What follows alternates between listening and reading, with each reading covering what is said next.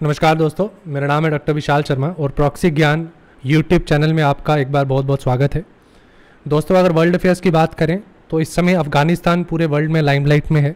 Because of the capture of Afghanistan region by the so called terrorist group Taliban. So we will discuss about this particular topic in our lecture today तो आगे बढ़ने से पहले मैं आप सभी से रिक्वेस्ट करूँगा कि आप हमारे प्रॉक्सी यूट्यूब चैनल को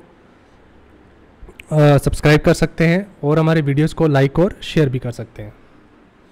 सो so रिसेंटली uh, जैसे कि आप सभी जानते हैं ता, तालिबान जो एक टेररिस्ट ऑर्गेनाइजेशन है अफ़गानिस्तान में so they have seized most of the part of Afghanistan specially जो उनकी कैपिटल सिटी काबुल है because of the withdrawal of the troops of U S army from there so Taliban recently उन्होंने proclaim किया है कि अभी वो जैसे वो पहले अग्रेसिव थे पिछले कुछ समय में वैसे अग्रेसिव नहीं नहीं रहेंगे। They will be forming the government there और उन्होंने कहा है कि they will be no witch hunt and that it will respect the traditional and transitional process उनका मेन ऑब्जेक्टिव जो अफ़गानिस्तान में है वो शरिया लॉ या मुस्लिम लॉ जो इनके हैं शरिया लॉ को इम्प्लीमेंट करना है वही इनका मेन ऑब्जेक्टिव है वहाँ पे। सो so, तालिबान की अगर बात करें सो so, इसको पश्तो लैंग्वेज में तालिबान वर्ड का जो मतलब स्टूडेंट्स है So they uh, uh, rose up in the early 1990s after the withdrawal of Soviet uh, troops from Afghanistan. So ये एक इस्लामिक फंडामेंटल फंडामेंटलिस्ट पॉलिटिकल और मिलिट्री ऑर्गेनाइजेशन है जो कि अफ़गानिस्तान में ऑपरेट करती है ये लाइमलाइट में उस समय आए जब इन्होंने 2001 में वर्ल्ड ट्रेड सेंटर में under the leadership of Osama bin Laden इन्होंने यूएसए में अटैक्स किए थे उसके बाद से यूएसए के यूएसए ने ओसामा बिन लाडेन को एलिमिनेट भी किया और उसके बाद उन्होंने अफ़गानिस्तान में अपना ट्रूप्स को वहाँ पे इस्टेब्लिश किया। पिछले 20 साल से वो वहाँ पे थे और अब due to the talks between Taliban and US army and US government USA ने वहाँ से अपने troops in step wise manner वहाँ से विदड्रॉ uh, कर लिए। सो so, अगर हम बात करें तालिबान के करंट लीडर की Haibatullah is the main leader at the moment जो कि पश्तून कंधार से हैं। He is currently currently the leader of Taliban in Afghanistan and Taliban they have set up council of leaders based in Pakistan called as Quetta Shura it guides the groups decisions तो पाकिस्तान का इसमें बहुत बड़ा हाथ है तालिबान के grow करने में। So they have always been and now Pakistan has also openly favoured and accepted the Taliban acquisition of the Afghanistan तो अगर बात करें इनकी फंडिंग कहाँ से आती है? मेनली इनकी जो फंडिंग है that comes from Afghanistan illegal drug trade they impose tax on poppy growers and heroin producers in the areas of Afghanistan it controls जैसे कि जो इनका मेन कंट्रोल रीजन है वो अफ़गानिस्तान और पाकिस्तान के बीच का एक छोटा सा रीजन है जिसको हम नॉर्थ वेस्टर्न फ्रंटियर कहते हैं। उसको ये पूरी तरह से कंट्रोल करते हैं तो वहाँ से ये इलीगल ट्रेड ड्रग्स का करते थे। They have also impose taxes on businesses and operate illegal mines और साथ ही साथ कुछ देश जैसे कि पाकिस्तान और गल्फ रीजन की मुस्लिम कंट्रीज़ जो हैं वो ओपनली इनको फंडिंग देती रही हैं जिसकी वजह से ये इतने स्ट्रॉन्ग मिलिट्री ऑर्गेनाइजेशन अपने आप में है। uh, हम इसको मिलिट्री ऑर्गेनाइजेशन इसलिए कह रहे हैं because they have lots of arms and ammunitions और uh, इनकी जो टोटल स्ट्रेंथ uh, है it is around about according to NATO it is around about seventy five to eighty five thousand so पूरे world में इनको एक terrorist organisation का ही दर्जा दिया गया है। तो रिसेंटली uh, uh, 2020 में दोहा टॉक्स हुए थे जिसके अकॉर्डिंगली uh, उसके बाद से ही uh, जो अब तालिबान और यूएसए की गवर्नमेंट है उनके बीच में uh, समझौता हुआ था जिसके दौरान उन्होंने एग्रीमेंट के uh, साथ उन्होंने यूएसए ने वहाँ से एक्सेप्ट किया कि we will leave the Afghanistan country and this has favoured the Talibanis in capturing the Afghanistan region current scenario की बात करें वहाँ पे जो अफ़गानिस्तान है, वहाँ पे जो गवर्नमेंट है, पूरी तरह से फेल हो चुकी है। अशरफ गनी हु ये भाई साहब जो हैं he has left the country जो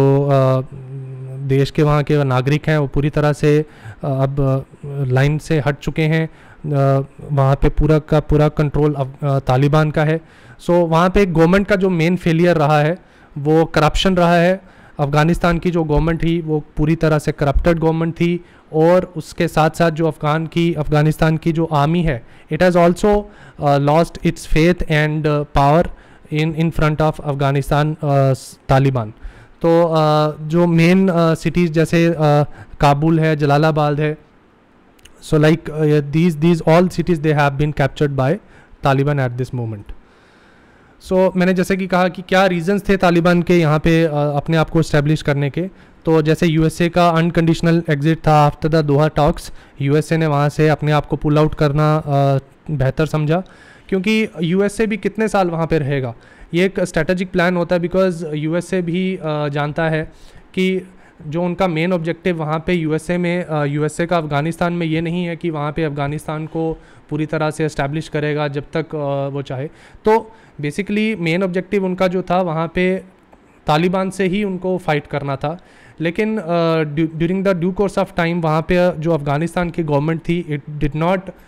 did well it did not do well उस वजह से वहाँ पे uh, तालिबान के साथ भी उन्होंने टॉक की। और तालिबान जो रेडिकल ऑर्गेनाइजेशन है यूएसए के सामने उन, उन्होंने अपने आप को within the due course of time उन्होंने अपने आप को एक ऑर्गेनाइजेशन ऐसा प्रोट्रे किया कि वो क्या कर सकें। यू एस आर्मी के साथ उन्होंने नेगोसिएशंस करी, जिसके बाद से after the Doha talks they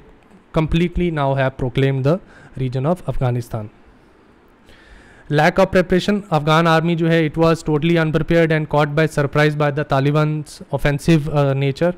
and lack of training of the Afghan forces was, was also one of the major reasons why Taliban has now completely captured Afghanistan. अगर हम India के स्टैंड की बात करें और इंडिया का जो क्योंकि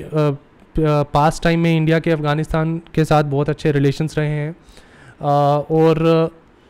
अफ़गानिस्तान की गवर्नमेंट भी जो है पिछली जो गवर्नमेंट थी वो पाकिस्तान को एज अ टेररिस्ट ऑर्गेनाइ टेररिस्ट स्टेट कह चुकी है सो so, इंडिया के काफ़ी सारे फ्रेंडली रिलेशन अफ़गानिस्तान के गवर्नमेंट के साथ है लेकिन अभी क्योंकि तालिबान वहाँ पे पूरी तरह से इस्टेब्लिश हो चुका है सो so, इंडिया ने करंटली जो है it is closely watching what's happening in this particular region of Afghanistan. So India ने अभी इमीडिएट uh, स्टेप्स के तौर पे it has temporarily close the consulate in Kandahar region and evacuated its diplomats जो भी उनकी वहाँ पे जनता है उनको वहाँ से निकाल रहे हैं including the I P I T B P जो फोर्सेस हैं जो वहाँ पे गवर्नमेंट ऑफ़ इंडिया ने भेजे थे वो भी वहाँ से बुला लिए गए हैं वापस। सो so, इंडिया की जो अभी एट प्रेजेंट एम्बेसी है काबुल में it is totally working there but it is having a close watch what's happening in the region of Afghanistan so so, अगर हम इंडिया के डेवलपमेंट वर्क्स जो अफ़गानिस्तान में पिछले कुछ सालों में इनिशिएट किए हैं as a friendly relation with Afghanistan तो 2011 में India Afghanistan strategic partnership agreement हुआ था जिसमें इंडिया की uh, बहुत सारी हेल्प अफ़गानिस्तान को मिली थी with respect to establishment of infrastructure and institution educational institutions so अगर बायलेटरल ट्रेड की बात करें तो इंडिया का तालिबान आने से पहले तालिबान के आने से पहले जो वन बिलियन डॉलर का ट्रेड जो अभी तक इंडिया और अफ़गानिस्तान के बीच में हो चुका था। लास्ट ईयर इंडिया ने one million dollar Aga Khan heritage project को रेनोवेट करने के लिए, उसको रिस्टोर करने के लिए उन्होंने they have promised to give Afghanistan this amount of money so बारह हज़ार went on also went on to become the significant Mughal fort and where parts of it but they were rebuilt by Jahangir and it was use as a residence by Shahjahan so India has also you know helped the Afghanistan government previous Afghanistan governments with respect to development of infrastructure and the educational institutions so अगर bilateral trade uh, की और बात करें तो despite uh, uh, क्योंकि पाकिस्तान जो है बहुत सारा डिनाइल uh, करता रहा है trade between India and Afghanistan तो इंडिया का और अफ़गानिस्तान का जो ट्रेड है it has in the due course of time in the previous year has grown lot so so, जिसमें एयर फ्रीट कॉरिडोर्स इंडिया और अफ़गानिस्तान के बीच में है। अफ़गानिस्तान काफ़ी सारे uh, जो प्रोडक्ट्स uh, हैं वो इंडिया को एक्सपोर्ट करता रहा है। जैसे जिसमें ड्राई फ्रूट्स जो मेनली हैं वो uh, इंडिया को एक्सपोर्ट करता रहा है। और at the same time India जो है uh, बहुत सारे फार्मास्यूटिकल प्रोडक्ट्स हैं मेडिसिन इक्विपमेंट्स हैं कंप्यूटर्स हो गए रिलेटेड मटेरियल सीमेंट और शुगर जो है वो अफ़गानिस्तान को एक्सपोर्ट करता रहा है। तो इंडिया और अफ़गानिस्तान के बीच में दो एयर कॉरिडोर भी हैं जो काबुल और दिल्ली और हेरात दिल्ली के बीच में हैं। They are at present operational अगर ट्रेड की बात करें फर्दर छाबहार जो ट्रेड कॉरिडोर था इट वाज स्टार्टेड इन 2017 जो लेटर ऑन इतना ज़्यादा नहीं प्रोक्लेम हो पाया। लेकिन it was a direct route to go to Afghanistan by passing the Pakistan region through Iran तो अगर हम फ्यूचर प्रॉस्पेक्ट्स की बात करें दोस्तों तो अगर इंडिया की ही बात करें विद रिस्पेक्ट टू अफ़गानिस्तान के साथ उनके क्या रिलेशंस होंगे तो इंडिया के पास इस समय बहुत सारे ऑप्शंस हैं and they are just putting the steps in a very बहुत uh, सोच समझ के वो इस समय स्टेप्स ले रहे हैं। तो फ़र्स्ट ऑप्शन जो इंडिया के पास रहता है it is to stick with the original principle of backing only a democratically elected government in Kabul जो कि अभी इतना पॉसिबल नहीं लग रहा क्योंकि अभी कल का ही अफ़गानिस्तान के लीडर्स का एक बयान आया उन्होंने कहा है कि they will not be forming a democratically electing government but obviously they will be imposing the sharia laws but it will not through a democratic process तो एक ये एक तरह से एक सेटबैक भी कह सकते हैं हम इंडिया के लिए at the moment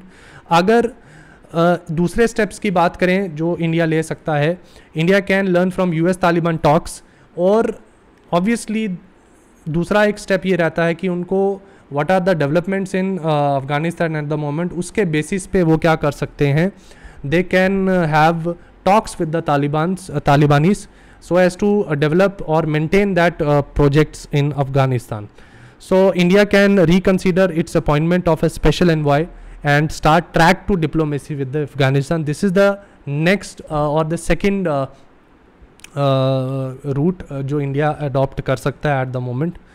so all in all आज हमने तालिबान uh, और अफ़गानिस्तान में जो भी तालिबान का जो अफ़गानिस्तान में इस समय इस्टेब्लिशमेंट पूरी तरह से है उसके बारे में बात करी और बात करी कि भारत के कंटेक्स्ट में क्या मायने रखता है तालिबान का अफ़गानिस्तान में इस्टेब्लिशमेंट अपना रखना। तो दोस्तों आज के इस पर्टिकुलर लेक्चर में इतना ही। आशा करता हूँ कि आपको जो करंट सिचुएशन है अफ़गानिस्तान में उसके बारे में थोड़ा बोरा थो, थोड़ा बहुत जानकारी मिली होगी। अगले लेक्चर में दोबारा से आपके सामने किसी एक नए टॉपिक के साथ आएँगे। तब तक के लिए धन्यवाद।